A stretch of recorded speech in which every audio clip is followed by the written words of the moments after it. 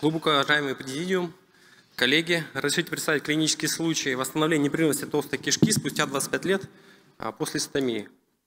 А, итак, из анамнеза пациентке известно, что рак а, прямой кишки в 1995 году, первичная резекция с формированием анастомоза конец-конец, потом несостоятельность и, соответственно, трансферзостома. Далее попытка реконструкции, которая тоже закончилась неудачно, формирование внутреннего свища, затеками и повторная колоностома. А через год попытка, а, опять же, э, э, закрытия, а, формируется непроходимость, и после этого трансферзостома не закрывалась, пациентка уже устала от этих операций. Прошу ваше внимание обратить на такое весь руби, э, живот в рубцах, здоровенный, можно сказать, стомой, которая частично выпадала, мешала ей.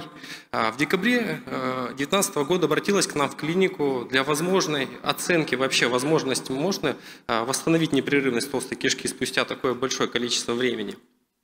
Ну и первым делом, конечно, мы выполнили колоноскопию. При осмотре через задний проход на 10 см от анального сфинктера визуализируется грубое рубцовое сужение, что мы видим, э, в среднем до 4 мм. Через стому аналогичная ситуация. Э, по проктографии данным э, структура протяженностью около 4 см, диаметром до 4 мм. А, ну и позвольте, большой ажиотаж и волнение не позволили нам проконтролировать всю видеозапись. Это наша, можно сказать, беда и ошибка.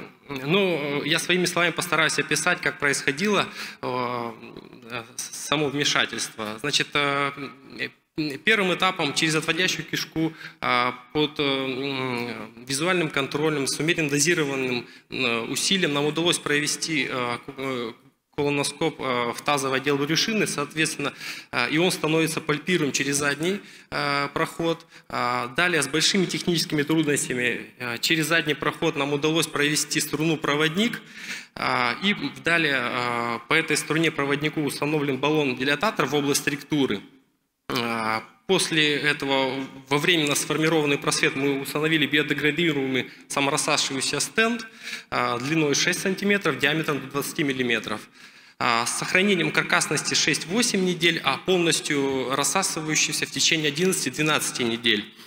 А, хочется отметить, что данный стенд ни пациентка, ни наша больница не приобретала, это была спонсорская помощь. А, также стоит отметить, что данный стенд открывался под двойным эндоскопическим контролем как с проксимальной, так и с дистальной а, области. Ну и на проктографии контраст поступал свободно через стенд, затеков не было, поступал в, в колоностому.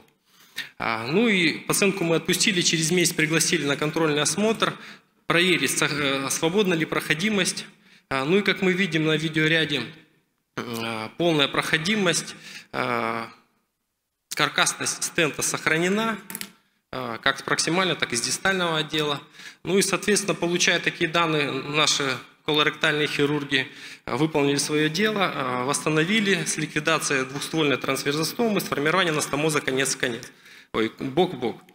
А, ну и через некоторое время пациентка развивается клиника непроходимости, а именно ухудшается самочувствие, нарастает температура, учащается стул. А, также на, на компьютерном снимке мы видим а, расширение правых отделов, и, соответственно, Пациентка, если честно, устала от всех этих действий и уже не могла терпеть, просила опять открыть ей стому, но мы немножко были убедительны и помогли ей. Не с первого раза нам все-таки удалось провести, э, дойти до области сужения анастомоза, так как было очень много кишечного содержимого. Э, мы очень рисковали и выполнили баллону дилатации данной области. А, на трех часах, если видно, можем даже увидеть сейчас шовный элемент. А, после баллона дилатации мы прошли в правые раздутые отделы, ну и, соответственно, а, установили зонд для декомпрессии. После этого выполнена компьютерная томография, на которой отмечалась положительная динамика, уменьшение просвета. Постепенно пациентка нормализовалась температуру, получала она месолазин,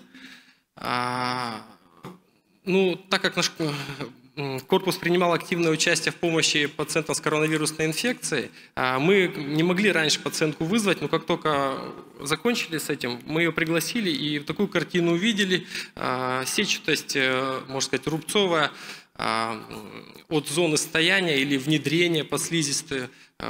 Стента мы не видим, полная проходимость. По сути дела, пациентка сама ходит. А, вот так вот ее выглядел живот, а, вот так вот ее выглядит сейчас живот. Она очень нам благодарна, довольна, социально адаптировалась, устроилась на работу, похудела, как мы видим, с большой нам благодарностью. В этом всем действии э, невозможно рассказать за пять минут э, все то время, которое мы потратили ней. А, спасибо большое за внимание. Благодарю.